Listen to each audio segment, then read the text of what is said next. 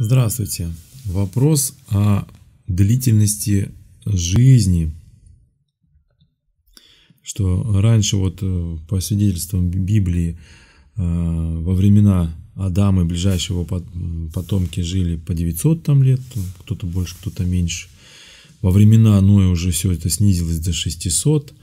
Э, Авраам прожил 174 года, если не ошибаюсь, и это уже считалось много. Вот. А потом все меньше, меньше, меньше. И срок жизни постоянно сокращается. Да? А вот сейчас немножечко снова приподнимается. Мы сейчас до 70 лет э, средний срок жизни. И вот приводит пример э, Псалом Давида, который, в котором говорится, что такое жизнь человека 70 лет, если в силах 80 лет. Да? И много их, в них трудов и болезней. Да. То есть во времена царя Давида вот такой был срок жизни. 70 лет. Ну, если в силах 80 лет. И много в них трудов и болезней. У нас сейчас средний срок жизни 70 лет. То есть мы можем сейчас сказать так, 80-90. Вот. Может быть, даже так сказать, ну, 90-100 даже вот так. То есть некоторые доживают до 90, 95, 92, 94. Вот. А, и много в них трудов и болезней. Так вот, э, вопрос, чем можно объяснить такую тенденцию к сокращению продолжительности жизни? Ну, собственно говоря, э, об этом и в Библии сказано. В какой-то момент Господь взял и сказал, да будет у них жизнь 120 лет, дней жизни человеческой. Положил такое ограничение. Надо сказать, что наверное, в свои, в свои там, аще в силах 100 лет, да, э, мы, может быть, достигаем большего, чем люди достигали во времена оны за 300, за 500, за 900 лет. Более, может быть, жизнь такая стала иная, насыщенная и знаниями, и всем остальным. Вы понимаете, допустим, э, наш современный ребенок идет в школу. Там за 10 лет в него учителя умудряются впихнуть столько знаний, вот, без, без особого насилия над его личностью, да, причем. Столько знаний, столько всего. А что такое знание? Это опыт предыдущих поколений. Но во времена Адама предыдущих поколений не было. Этот опыт нужно было нарабатывать. И поэтому наш школьник, который сегодня заканчивает 11 класс, он, да, у него жизненного опыта нет, но знаний-то у него колоссальные. Просто огромные, энциклопедические э, по сравнению с тем, что знали люди там тысячу лет назад, когда, в общем, безграмотность была всеобщая. Были, конечно, грамотные, это я уж так округляю просто. Да даже на нашем веку. Вот я очень хорошо помню, что когда я учился уже в старших классах, там 10 класс, мои родители говорили, что ой, мы такого в школе не проходили, что вы проходите. Сейчас я смотрю, мои дети вот закончили школу, двое из... И тоже я смотрю, что они там изучают, ну, боже мой, я такого не проходил, что-то я не помню такого.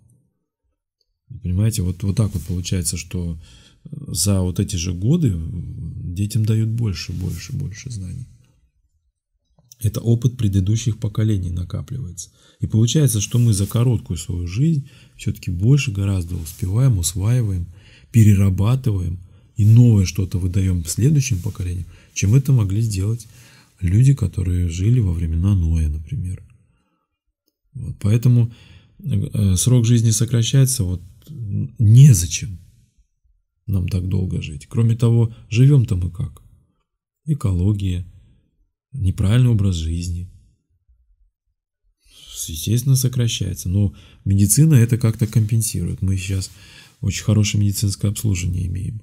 И нас как-то там лечат, и латают, и, и, и как-то вытягивают нас из э, болезней эпидемии не стало, все это профилактика, все это вот медицина, все, плюс гигиена, мы все-таки питаемся с вами, например, водой пользуемся, она, может быть, там хлоркой пахнет, но там, по крайней мере, нет каких-нибудь бактерий, чумы там или еще какой-нибудь гадости. А все это убивается. И поэтому, в общем-то, мы с вами эпидемии на корню как-то замораживают. Нету их. И слава богу. Прививки и прочее, прочее. То есть медицина, в общем-то, развита у нас сейчас хорошо. Поэтому, в общем-то, мы живем, в общем, в общем-то, достаточно много для того, чтобы и пожить, и духовно как-то окрепнуть, и увидеть, что такое. Вот побыл ты ребенком, потом ты побыл родителем, потом ты побыл дедушкой или бабушкой, вот, внуков понянчил, и потом уже и правнуки у тебя пошли. Ну все, ты уже все, все, что еще надо? Вот старики, которые а, живут до 90 лет, очень часто тяготятся своей жизнью и хотят уже, чтобы поскорее Боженька забрал. Почему? Потому что там уже и папа, и мама давным-давно, и бабушки, и дедушки, и тети, и дяди, и знакомые, и, и друзья все, которые в молодости были, они уже все на том свете поумирали. И дети некоторые уже туда ушли. И все то, что человека э, связано так или иначе с его юностью, молодостью, с его жизненной вот этой, когда все было, все целое пахло, его весна его жизни, вся она уже там, а он все еще здесь. И, и он понимает, что я тут никому, собственно, не нужен. Ну, от жизни я отстаю, жизнь очень-очень быстро, динамично развивается, я уже не успеваю за всем этим.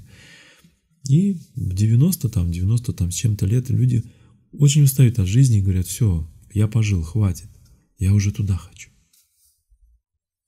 И все.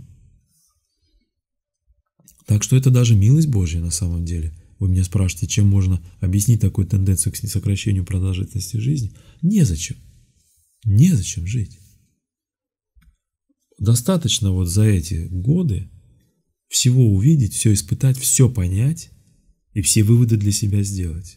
А дальше зачем? А дальше пора тебе, как пирожок из печки, вынимать тебя и туда, в Царство Божие, и там будет жизнь вечная. А здесь ты формируешься в этой жизни, как в утробе матери. Человек вот в утробе матери 9 месяцев формируется, а вот здесь, вот в утробе этой жизни 90 лет. 9 десятилетий. О, красиво. Там 9 месяцев, здесь 9 десятилетий. Сформировался, и все. Хватит. Пора покидать этот мир, переходить в иной. И там уже жизнь вечная. Бывают, конечно, преждевременные роды.